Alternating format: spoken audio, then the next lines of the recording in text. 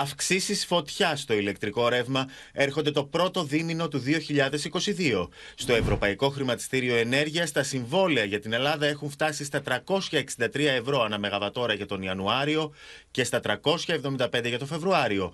Η τάση είναι πανευρωπαϊκή. Στη Γαλλία το ρεύμα θα φτάσει στα 590 ευρώ τον Ιανουάριο και στα 648 το Φεβρουάριο. Στην Αγγλία 466 και 438 ευρώ, στην Ισπανία 333 και 338 ευρώ. Οι τιμές πέφτουν από το Μάρτιο. Σε αυτό το περιβάλλον, ο Πρωθυπουργός Κυριάκος Μητσοτάκης ανακοίνωσε χθες τρία νέα μέτρα στήριξης. Πρόσθετη αύξηση της κρατικής ενίσχυσης στα τιμολόγια ρεύματος για το μήνα Δεκέμβριο.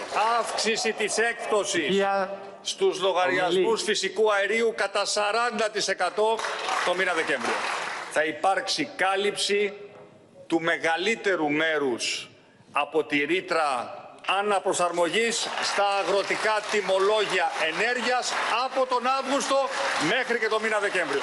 Η επιδότηση των λογαριασμών ηλεκτρικού ρεύματος ήταν 39 ευρώ για τον Νοέμβριο και θα αυξηθεί στα 49,5 ευρώ για το Δεκέμβριο για όλους. Στο φυσικό αέριο η έκπτωση ήταν 16% για Οκτώβριο και Νοέμβριο και αυξάνεται σε 40% για το Δεκέμβριο, δηλαδή 34 ευρώ αναθερμική μεγαβατόρα. Μαζί με την αναστολή των τελών χρήσης δικτύου, η έκπτωση φτάνει στα 49 ευρώ για το Δεκέμβριο.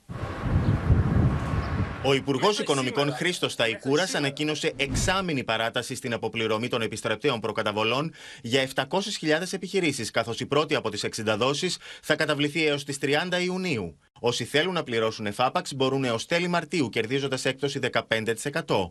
Εξάμηνη παράταση παίρνει και το πρόγραμμα των παγίων δαπανών με συμψηφισμό φόρων και εισφορών έως 30 Ιουνίου, ενώ για τρεις μήνες παρατείνεται το πρόγραμμα συνεργασία.